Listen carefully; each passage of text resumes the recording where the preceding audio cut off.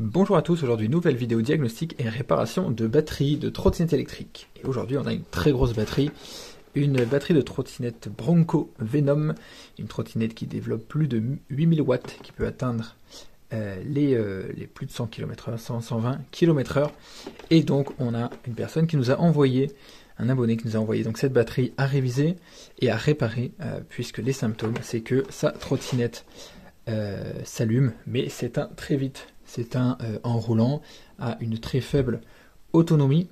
Euh, donc il y a en effet un problème de batterie. il faut savoir que rien, que la trottinette vaut entre 3000 et 4000 euros et la batterie vaut euh, facilement 2000 euros. Donc ça vaut le coup de la réparer plutôt que d'en racheter une autre lorsqu'un souci se présente. Alors les différents symptômes que vous pouvez rencontrer par rapport à votre batterie, c'est en effet une perte d'autonomie, la trottinette qui coupe qui s'éteint en roulant, euh, ou tout simplement la trottinette qui ne veut plus euh, s'allumer, qui ne veut plus charger. Voilà, donc ça c'est les symptômes classiques liés au problème de batterie. D'ailleurs, si vous avez, si vous rencontrez un de ces symptômes, n'hésitez pas à m'envoyer un mail sur mon mail qui est affiché en description, qui s'est aussi affiché en début de vidéo à l'écran ou un message Instagram sur mon Instagram Maximove, sur lequel d'ailleurs je vous invite à vous abonner, euh, pour ben, tout, tout, besoin de réparation de batterie. C'est ma spécialité, réparation, reconditionnement de batterie. Voilà, dès que vous avez un souci, si vous voulez augmenter euh, la capacité de votre batterie, l'autonomie, euh, réparer un problème, remettre à neuf, etc., enfin, quel que soit le besoin, vous pouvez m'envoyer une demande, je propose mes services. Euh, voilà, et donc euh, je pourrais donc réaliser euh, et faire en fonction de vos besoins et des symptômes que vous allez me décrire et réparer, reconditionner vos batteries. ceci étant dit, n'hésitez pas à faire un tour également sur ma chaîne pour voir plein d'autres sujets de vidéos qui portent autour des trottinettes et des vélos électriques. tout, voilà, pour comprendre comment les choses fonctionnent, comment réparer, comment diagnostiquer. Et n'hésitez pas à vous abonner pour soutenir la chaîne. Ceci étant dit, nous allons attaquer la réparation de cette batterie. Je vais vous montrer donc euh, de quoi elle est composée à l'intérieur. Euh, euh, et, donc comment, comprendre les soucis.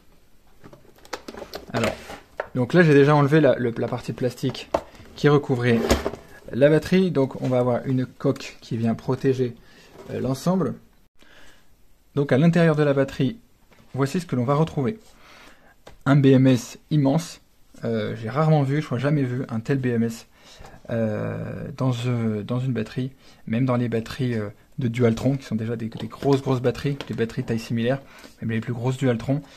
Mais il faut savoir voilà, qu'on est sur des, BMS qui doivent pouvoir passer 8000 watts de puissance, donc avec un paquet de MOSFET et une, très très grosse puissance en sortie, d'où la taille du BMS. Voilà, regardez la taille du BMS par rapport à ma main. C'est assez impressionnant. Euh, donc notre BMS récupère notre alimentation des cellules négatives de ce côté-là euh, pour la faire ressortir euh, à cet endroit ici, une fois évidemment qu'il a analysé que tout était OK. Si jamais vous avez un souci de batterie, généralement c'est parce que votre BMS se met en sécurité, soit parce que votre batterie surchauffe, soit parce qu'il détecte des anomalies sur les cellules, des cellules mortes, des éléments morts ou des, un gros déséquilibre. Euh, et des éléments qui passent sous des tensions critiques ou qui passent au-dessus de certaines tensions critiques, euh, qui fait que donc le BMS va se mettre en sécurité, ce qui, ce qui explique que votre trottinette coupe ou ne s'allume plus. Euh, maintenant, la question, ça va être de savoir pourquoi cette trottinette fait cela. Donc, je vais vous en montrer donc un petit peu plus. Alors, voici ce que lit le BMS en temps réel. Vous voyez, on va retrouver nos 20 éléments avec le 20e qui est juste là. Euh, voilà, du premier au 20e. Alors, on n'a pas des valeurs comme vous pouvez le voir sur nos 20 éléments. Le premier, on n'a rien, le 2, le 3, le 8 et le 9. Alors, ces éléments-là, c'est des éléments qui sont euh, morts. Tension euh, voilà, complètement nulle. Les autres éléments, on voit un gros déséquilibre. Donc, on a des éléments qui sont chargés à 100%, comme le 5e par exemple. Et on a des éléments qui sont chargés qu'à 40%, par exemple, comme le 13e. Et les autres sont un petit peu en intermédiaire. On a des éléments à 3, 8, euh, voilà, il faut savoir qu'un élément pleinement chargé, il est à 4,2 volts, un élément déchargé à, 13, euh, enfin, à 3,2 volts à peu près. Euh, mais s'il y a un tel déséquilibre, c'est qu'il y a un souci, c'est-à-dire que les éléments se déséquilibrent pas tout seuls. Ça sert à rien de juste essayer de, rééquilibrer la batterie pour que ça fonctionne. Ça ne fonctionnera pas longtemps, puisque si par exemple notre 13e élément s'est déséquilibré, c'est que notre 13e élément possède des cellules défectueuses qui sont venues déséquilibrer l'élément. Et pareil pour le 15e et pas mal d'autres, etc. Donc il y a une analyse approfondie à faire sur ces, tous ces éléments, même s'ils affichent une tension qui peut paraître correcte. voilà. Et c'est là justement l'important pour faire une bonne réparation, c'est de ne surtout pas euh, négliger euh, les différents, euh, enfin voilà, les causes d'un déséquilibre. ça sert à rien de, rééquilibrer une batterie si fondamentalement les cellules sont déséquilibrées. Voilà, donc on a un gros travail à faire sur cette batterie. C'est un cas un peu extrême où on a 5 éléments complets qui sont HS euh, euh, et, d'autres cellules par-ci par-là qui vont être HS également et qui causent ce déséquilibre. Donc mon travail, ça va être de euh, remplacer ces éléments, alors pas par n'importe lesquels, je ne vais pas remettre des éléments strictement neufs, puisque sinon je vais... Il faut savoir que cette batterie a déjà une certaine usure, alors pas forcément très importante, mais si je viens mettre des éléments complètement neufs à côté d'éléments qui ont peut-être deux ans d'âge, eh bien, je viens mettre des éléments qui sont forts à côté d'éléments un peu plus faibles et je viens fondamentalement créer un déséquilibre dans cette batterie. Donc, il va falloir que je choisisse spécifiquement euh, mes cellules pour qu'elles aient exactement la bonne résistance interne, la même capacité réelle pour venir s'intégrer de manière équilibrée euh, à cette, aux éléments euh, déjà existants euh, pour ne pas voilà, créer un nouveau euh, déséquilibre. Donc c'est là évidemment toute la technique et la difficulté d'une réparation, et c'est aussi pour ça que je vous invite pas à le faire vous-même. Alors pour ça et aussi euh, pour des raisons de sécurité, puisque puisque on manipule des batteries qui peuvent être très dangereuses, encore plus sur des batteries de ce format. Si le moindre court-circuit ou le moindre faux mouvement est effectué, j'ai vu, j'ai constaté des départs de mise à feu sur des personnes qui maîtrisaient pas leurs gestes et leurs et leur technique. Euh, voilà, ça peut être très dangereux. Donc je vous invite surtout pas à le faire. Contactez des personnes compétentes, contactez-moi via mes réseaux. Je peux évidemment le faire pour vous. Ceci étant dit, je vais euh, donc remplacer euh, les éléments dont je vous ai parlé et les cellules dont je vous ai parlé. Et je vous retrouverai quand ceci aura été fait. Alors pour vous parler un petit peu des cellules avant d'entamer la réparation, on est sur des cellules de marque LR euh, de marque Lichen, pardon, euh, modèle LR 2170LA. Donc c'est des cellules euh, format 21700. Alors format 21700, c'est ce genre de format comparé par exemple à des cellules 18650. Voilà, c'est un peu plus gros, un peu plus grand. Ça permet d'avoir des capacités jusqu'à 5000 mAh. D'ailleurs, celle-ci, voilà, ça c'est une Samsung 50E, donc de, euh, de 5000 mAh, alors que le 18650, eh bien, ça va venir plafonner à 3500 mAh, donc là on est sur Samsung 35E. Voilà, donc cette batterie utilise des formats 21 700. Euh, donc marque Lishan, c'est une marque chinoise qui n'est pas de première qualité, qui est moyenne. Euh, et comme on peut voir, un élément est constitué de 8 cellules de ce modèle-là. Euh, donc c'est un modèle qui a 4000 mAh de capacité, ce qui nous donne donc x8, 3200, 32 000 mAh de capacité, 32 Ah. Voilà, le compte c'est une batterie 72 volts, 32 Ah.